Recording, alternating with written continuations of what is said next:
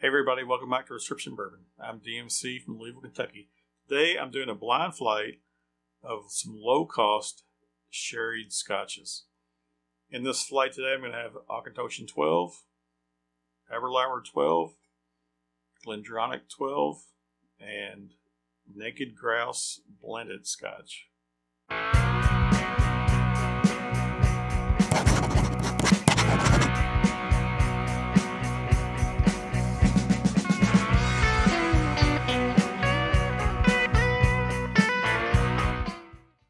Got these unboxed, I've got them poured, I've got the glasses mixed up here so they're out of order. Um, they're not in the same order as the bottles on the table. But I'm going to go through and do a blind blind tasting. So a uh, little bit of info on these. Um, the Auchentoshan 12 and the Aberlour 12 are both uh, 40% ABV or 80% alcohol and they are both uh, matured in ex bourbon barrels and ex sherry barrels. So they're a combination of sherry and bourbon barrel uh, finished uh, scotches. The Glendronach 12 and the Naked Grouse are both 43% ABV or 86 proof. Um, and they are both finished in exclusively in sherry. So the Naked Grouse uh, says uh, first fill Oloroso sherry is what it's finished in, and the Glendronach is finished in uh, both PX sherry and Oloroso sherry cask. So uh, higher alcohol over here, 43%, but all sherry. Lower alcohol over here, 40%, but and bourbon and sherry cask. So you know, some similarities, but some differences. All right, so these are, are mixed up. I'm going to call this A, B, C, D from your left to right. To go through, give me a nose, give me a taste. Nose on A. Mm. It's a beautiful nose. And, and one thing I will say here, uh, I just got into Scotch last year really started enjoying it. Um, non-peated scotches, a lot of space-out of scotches, but um, I have found that I've been gravitating towards the sherry finished uh, whiskeys. So, hence this lineup today. So, Glass A though, you know, beautiful, clean nose, and, and and the uh, the Auchentoshan 12 is also one of the few triple distilled uh, single malt scotches. So uh, for extra smoothness. So we'll see where that, that comes in. So Class A on the nose. Mm, beautiful nose. I can smell some wonderful sherry on that. And some underlying maltiness that's just right at my alley. Love it. Nose on glass B. Alright, maltiness comes through before the sherry.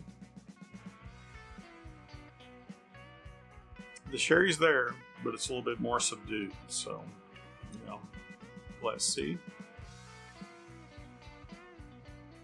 I definitely some sherry on this one. It's a different sherry. But the sherry is front and center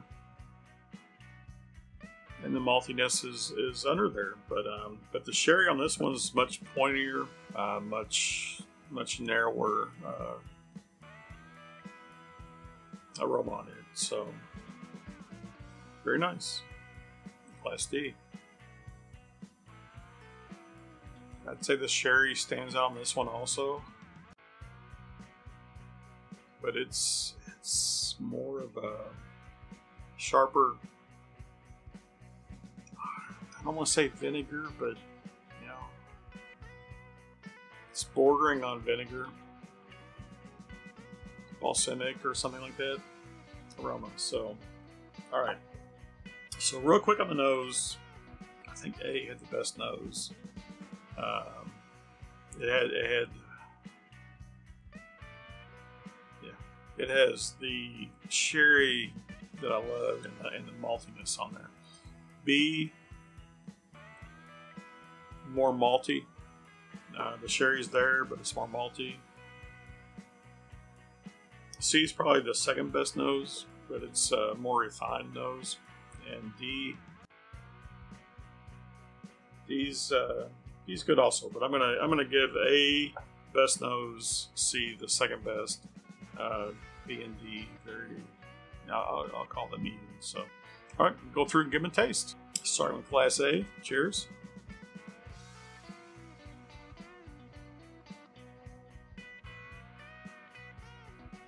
All right, beautiful, beautiful taste on on A.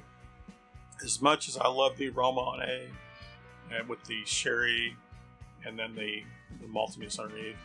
On the taste, the maltiness is, is right on top. The maltiness is, is overpowering the sherry. The sherry's there underneath, but um, not any real flavor that stands out there though. So, see how B does. Cheers.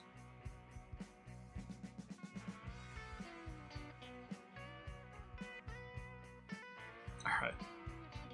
B and A have flip flopped with each other. A stood out with the sherry on the nose, underlying maltiness, but on the taste, the maltiness was for was first and foremost with the sherry undertones. B had more of a malty nose, sherry undertones, but on the taste, the sherry was first and foremost. And the maltiness came second, so. Very interesting. But just from a taste standpoint, um, I prefer B over A. From a nosing standpoint, I prefer A over B. Crazy. Let's go with C. Cheers. Yeah, C has a, a sharper, more distinct sherry. Nose. Hmm. Oh wow. Beautiful taste on C. I get the sherry and I get the maltiness both. The sherry did hit me first. It hit me. Um, I was I was coming off that sharp sharpness of the nose, but um, it's a good sherry um, spiciness. I get the maltiness. I get the the spiciness just lingers. So the with C is the best sip so far. Last D a taste. Cheers.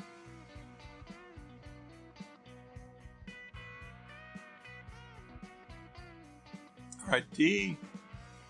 I can taste the sherry. I can taste maltiness. I don't know if I. I think I did say this one bordered borderline on vinegary nose. I can taste that. I can taste that same. It's, it's not quite vinegar, but it is a sharp or sour um, taste. It's got to be from the sherry. Hmm. I don't know where to put that, but it's certainly behind C. All right. I'm going to cleanse my palate, go back through, taste these again. I'll do in reverse order, uh, D through A. Next pass, but um, right now, on the first pass, I love, love, love the nose on A. I like the, the taste on C. So we'll see where they fall on the final round.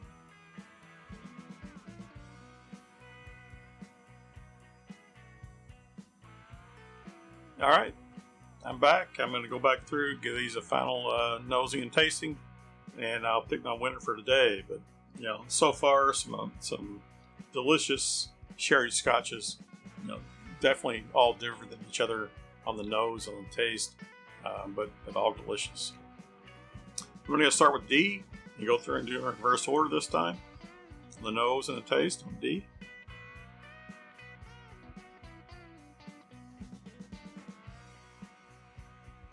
On D, I still get that vinegary sharpness on the nose. On the taste, um, I'm not going to call it that. It's it's definitely a, a good sherry first and foremost on the taste, with a little bit of underlying maltiness. A little bit of dryness on that though. Good good sip. Class C. Cheers.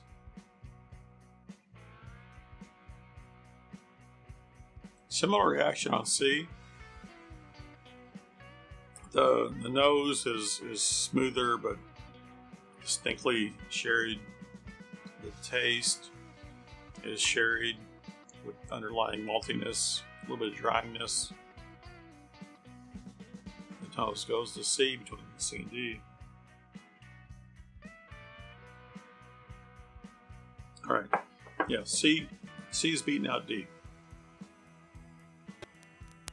All right, before I go to B, let's do a quick break here and remind everybody, you know, hit that like button if you like what you're seeing here. Leave some comments down below on on what you like here, what you don't like here. Um, if you're new here, think about hitting that subscribe button. It really helps. Appreciate it. But also, um, want to remind you, you can find me on Patreon at patreon.com slash prescription bourbon. Uh, growing community there. I've got some extra content, polls, extra videos, um, extra posts, and it's just another forum to get involved with the chat and and you know community and voice voice your opinions on things. All right, glass B. Maltiness on this one beats out the sherry on the nose.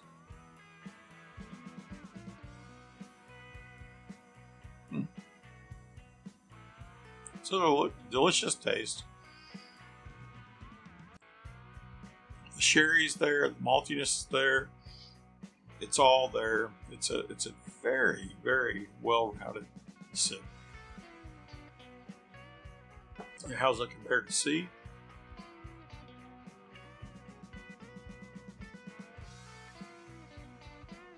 Yeah, if we're looking if we're looking for sherry finish here, I believe we are. I am. Um, C beats out B barely. Uh, D's going to still be in last place here so far. Let's go with Class A.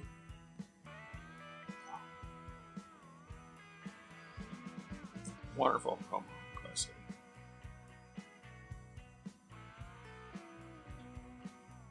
A. Wow. As much as that sherry aroma is on glass A. It is not on the taste at all. I think glass A has the best aroma here.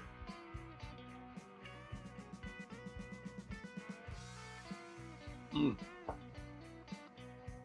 But on the taste, even glass B beats it. And I go with the taste. And the and the, there's not a whole lot of finish here there is some spiciness that lingers. Um, but there's there's no heat here. We're, we're down at you know 40 43 percent ABV, so it's it's not hot. Nothing's here is hot um, compared to bourbons, anyways. Um, but there's there's my final finish here. Um,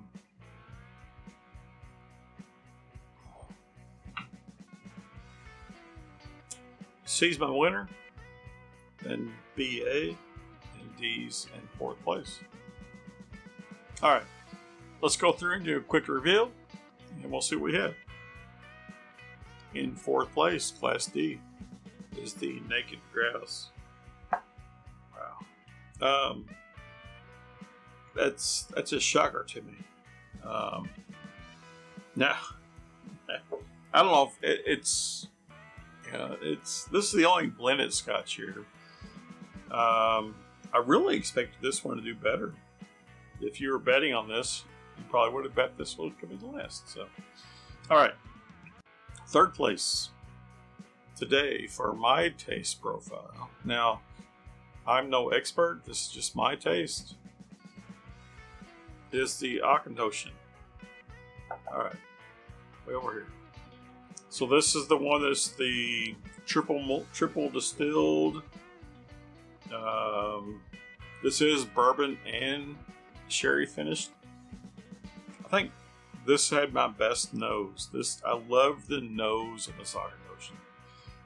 Beautiful. But it just the nose had sherry with some underlying malt, but the taste was malt with underlying sherry, so it flip flopped. Crazy.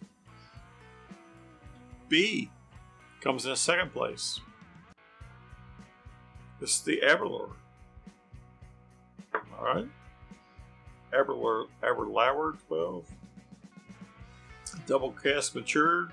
This is also finished in bourbon barrels and sherry barrels and then blended together. So this guy honestly was muted compared to some of the other ones, but A and B, without any question in my mind, flip flopped. Sherry on the nose, underlying malt, malt on the nose with underlying sherry. You you taste them and they flip. Malt with sh- on the on the taste with underlying sherry, sherry on the taste with underlying malt. My winner today is the Glendronach. Wow. Glendronach 12. Yeah, it was sharper on the nose on the on the sherry. I mean, it was very it was similar to A without a doubt, with the sherry on the nose and the sherry on the taste the underlying maltiness. But um, even though I, I like the nose on A, be, compared to the sharpness of the nose on C. Mm. This is a delicious pour. Love it. All right, there you go. Don't forget to hit that like, hit subscribe, leave some comments. But remember, all bourbon is whiskey but all whiskey is not bourbon. The best bourbon comes from Kentucky. All Scotch comes from Scotland. And Scotland makes some pretty damn good whiskey. Cheers.